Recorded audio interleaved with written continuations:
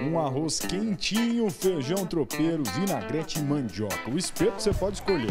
O que não falta é opção. Quem é que resiste, hein? Difícil demais.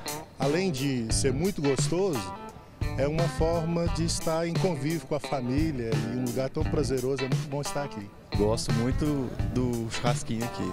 A gente aproveita e já saboreia um gostinho diferente, especial daqui. A jantinha virou um hábito para muita gente, muita mesmo.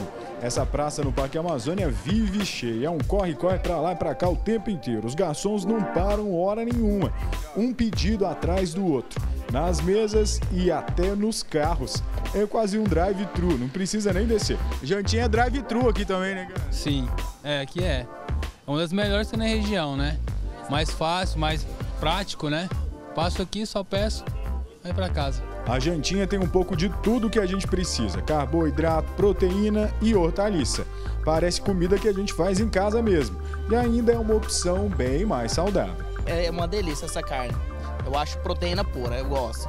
E é melhor do que comer um sandubão, né? Ah, com certeza, né? Sanduíche vai bacon, vai presunto, queijo, ketchup. Agora só a proteína é tranquilo. É bom por causa da proteína, é mais saudável realmente. Mais leve também pra noite. Mais leve, só o espetinho é mais leve. E as crianças adoram. É muito gostoso. Eu só gosto do queijo. E do que mais? E também da carne. Você gosta de espetinho? Sim. Por quê? Porque ele é muito gostoso. E vira um jantar em família. Todo mundo come bem, conversa muito e sai até dança. Olha aí.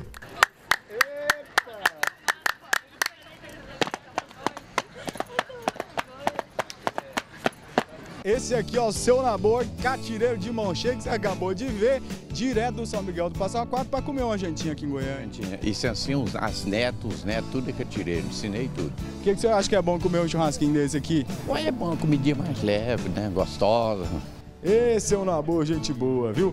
Ele trouxe a mulher e os netos para jantar e todo mundo aprovou. É muito bom, é temperadinho, né? Muito bem feito. Sempre quando eu como é, né? É muito gostoso. A jantinha é muito família mesmo. Esse aqui é um negócio que começou há 17 anos com a Diomar e o marido dela.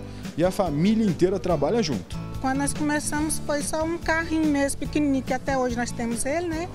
E eu, minha esposa, começou assim, do nada. Meio quilo de feijão. Aí agora nós estamos arrebentando, graças a Deus.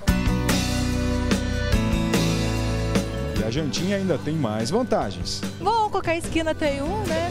E tem em toda a esquina mesmo.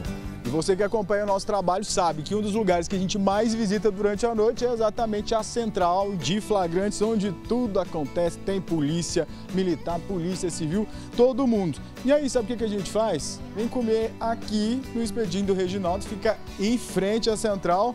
E aí, enquanto a gente come, espera uma notícia acontecer, e eu vou dizer uma coisa para vocês, viu? Aqui, ó, o espetinho já tá esperando. Espetinho tem em todo lugar e sempre tem cliente. Esse casal anda longe para vir comer aqui. Pela qualidade, o tempero, o gosto, tudo aqui é bom. Eles vêm tanto que já viraram amigos dos donos. Praticamente toda semana. Que aqui o rapaz já até se tornou amigo da gente, né? Pela excelência aqui do espetinho dele aqui. Então, mesmo apesar da gente morar longe, quando o negócio é bom, a gente procura longe, né? O Reginaldo estava desempregado quando resolveu montar uma tenda na porta de casa e assar espetinhos. Resolvi montar essa jantinha aqui para dar uma renda aqui para pagar o aluguel e tomar conta das outras contas. Né? A mulher e as filhas dele estão sempre trabalhando também. A Leandra é a dona do tempero. Será que tem um segredo? O segredo é só cebola, muita cebola, muito alho, e só. E o feijão, a farinha, a couve, a linguiçinha. Tudo feito com muito cuidado. Muito cuidado. E amor. Além de ser uma excelente opção para quem não quer cozinhar à noite, a jantinha também dá a chance de passar um tempo com a família, falar da vida e fazer novas amizades. A vizinhança, tem os pessoal que vem na central aqui registrar alguma ocorrência, alguma coisa, os policiais, os civis, os militares. E todo mundo virou amigo. Todo mundo.